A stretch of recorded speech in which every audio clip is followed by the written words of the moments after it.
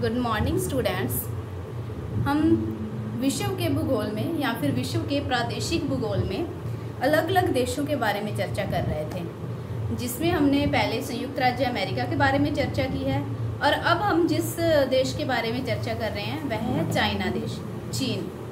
चीन की बात करें तो यह हमारा पड़ोसी देश भी है। हालाँकि इसके साथ हमारे संबंध इतने अच्छे नहीं रहे हैं, लेकिन यह हमारे सब्जेक्ट का एक टॉपिक है तो उसके लिए हम इसको अच्छे से पढ़ेंगे। हमार जो हमने पिछली वीडियोस बनाई हैं, उसमें हमने चीन का सामान्य परिचय कर लिया है, और उसके साथ ही चीन का धरातलीय स्वरूप कैसा है, और इस सब के बारे में, चीन की जलवायु के बारे में, और चीन के अपवाह तंत्र के बारे में बात कर ली है। आज की वीडियो में हम चीन की वनस्पति के बारे में बात करेंगे, कि चीन में कौन कौन सी प्राकृतिक वनस्पति पाई जाती है। जिसको हम चीन की प्राकृतिक वनस्पति या फिर कहते हैं नेचुरल वेजिटेशन ऑफ़ चाइना अगर हम चीन में प्राकृतिक वनस्पति की बात करें तो प्राचीन काल में जो चाइना था, यहाँ पर वनस्पति जो थी, यह 41 प्रतिशत भाग पर वनों का ही विस्तार था। लगभग 41 प्रतिशत भाग पर वन थे। लेकिन आप लोगों को पता है कि चीन में पॉपुलेशन बहुत ज़्यादा है। जनसंख्या जैसे जैसे बढ़ती गई, वनों का विनाश होता गया। और वहीं अगर हम बात करें सामंत काल की तो सामंत काल में तो क्या था कि उस समय शिकार का बहुत ज़्यादा प्रचलन था और आप ये भी मान सकते हो कि उस समय लोगों का एक शौक था शिकार करना। शिकार करने के लिए वो क्या करते थे? जंगलों को आग लगा देते थे।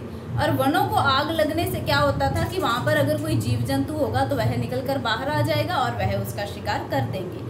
तो इसी चक्कर में क्या होता था कि वनों को आग लगा दी जाती थी, जिससे कि बहुत ज़्यादा वनों का क्या हो गया? विनाश हो गया। और वहीं हम आज की बात करें तो आज क्या है? चीन के लगभग 10 प्रतिशत भाग पर ही वनों का विस्तार रह गया है। अगर हम बात करें कि चीन के इन 10 प्रतिशत भाग पर जब वनों का विस्तार है तो वहाँ पर वन पाए कौन कौन से जाते हैं? या फिर चीन में कौन कौन सी प्राकृतिक वनस्पति मिलती है? तो इसी पर आज हम चर्चा करेंगे।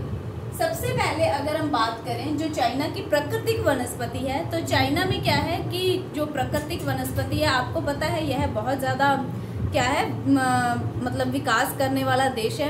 तो बहुत ज़्यादा विभिन्नता वाला देश है। तो जिसकी वजह से क्या है कि यहाँ पे बहुत ज़्यादा विभिन्नता होने के कारण वनस्पति में भी क्या मिलती है? बहुत विभिन्नताएँ मिलती हैं। सबसे पहले जो यहाँ पे वनस्पति पाई जाती है, वह है मरुभूमि की वनस्पति। मरुभूमि, आप सभी लोग इससे परिचित हो। मरु का मतलब क्या होता है? मरुस्थली भूमि यानी कि मरुस्थली भूमि पर कौन कौन सी वनस्पति पाई जाती है। तो मरुस्थली भूमि की बात करते हैं तो जो चाइना है, यहाँ पर क्या है? आपको जब चाइना का भौतिक स्वरूप बताया था, या फिर चाइना का धरातलीय स्वरूप पढ़ाया था तो उसमें बताया था कि चाइना में क्या है? गोभी का मरुस्थल पाया जाता है।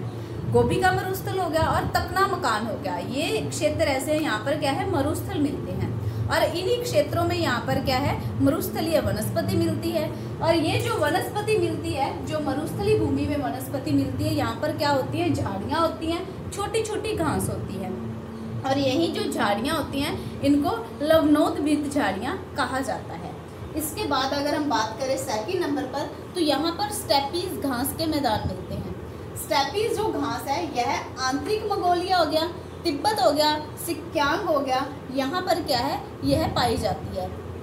और ये अगर बात करें स्टेपीज घास की तो इन प्रांतों में तो छोटी छोटी घास मिलती है। और वहीं अगर हम बात करें दक्षिणी पूर्वी भाग की, जो चाइना का दक्षिणी पूर्वी भाग है तो यहाँ पर क्या है? कुछ लंबी घास देखने को मिलती है। तीसरे नंबर पे बात करें तो यहाँ पर अर्ध शुष्क झाड़ियाँ मिलती हैं। अर्ध शुष्क झाड़ियाँ। ये किन प्रांतों में मिलती हैं? चाइना का शांसी प्रांत हो गया, शैंसी प्रांत हो गया, कांसू प्रांत हो गया। ये क्या है? चाइना के प्रांतों के नाम है, शांसी सैंसी और कांसू।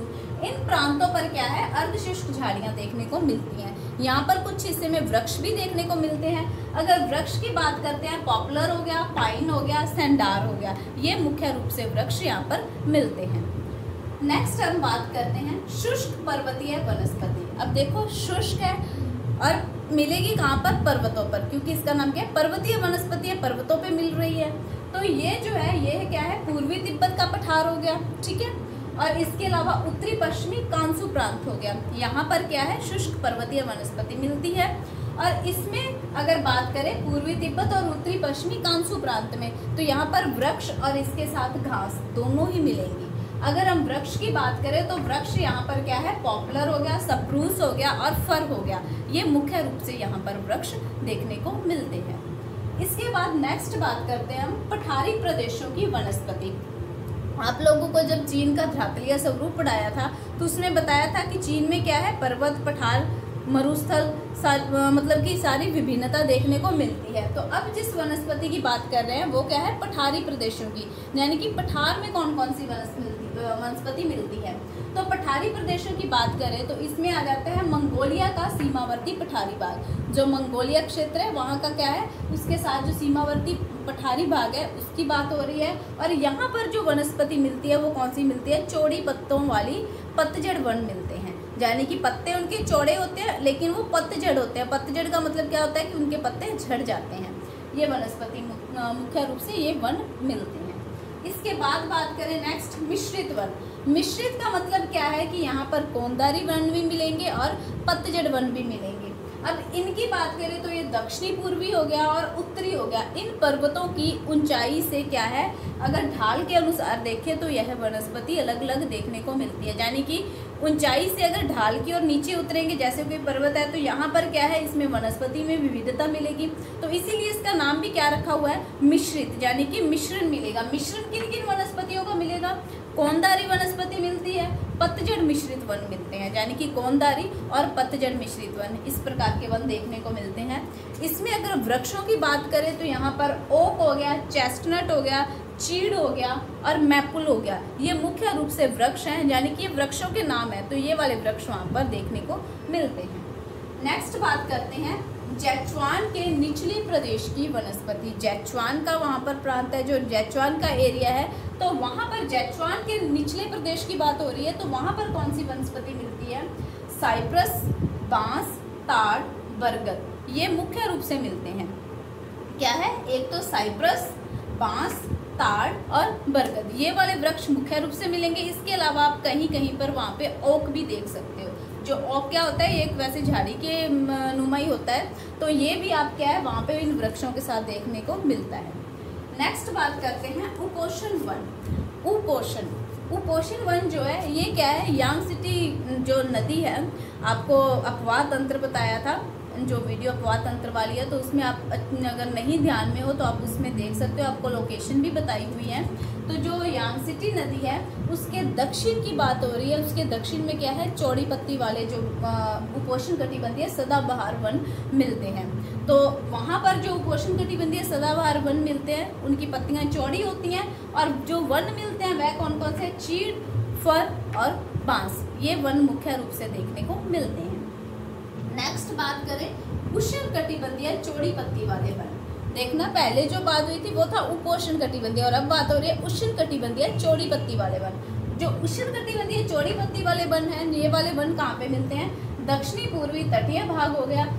ये वाला जो, यानी कि दक्षिण पूर्व का तट वाला भाग हो गया, यहाँ पर मिलते हैं। और इसमें अगर हम वनों की बात करते हैं, चीड़ हो गया, बाँस हो गया, ये क्या है? मुख्य रूप से यहाँ पर वन मिलते हैं। इनके अलावा भी और कई वन मिलते हैं, लेकिन ये मुख्य रूप से वन मिलते हैं। तो इस प्रकार जो वीडियो में आज हमने देखा क्या है? सबसे पहले मरुभूमि की वनस्पति, फिर स्टेपी वनस्पति। अर्ध झाड़ियाँ हो गई तीसरे नंबर पे। चौथे प्रकार की जो वनस्पति है, शुष्क पर्वतीय वनस्पति। पाँचवें नंबर पर है पठारी प्रदेशों की वनस्पति। छठे नंबर पर है मिश्रित वन। सातवें पर है जैचवान के निचले प्रदेशों की वनस्पति। आठवें पर है उपोषण वन और नौवा है, उष्ण कटिबंधीय चौड़ी पत्ती वाले वन। तो ये क्या था कि जैसे ही चाइना के ध्रातलीय स्वरूप में विभिन्नता मिलती है, उसी के आधार पर क्या है, यहाँ पे वनस्पति में विभिन्नताएँ देखने को मिलती हैं। तो आप इसको अच्छे से कॉपी पर भी नोट कर लेना, इसके नोट्स भी बना लेना। क्योंकि ये जो अगर हम बात करते हैं वनस्पति की तो अक्सर वनस्पति को लेकर कन्फ्यूज़न रहती है। तो आप अच्छे से इसको वीडियो को देख के उसको अच्छे से नोट कर लेना। आई होप आपको ये सारा समझ आ गया होगा। Thank you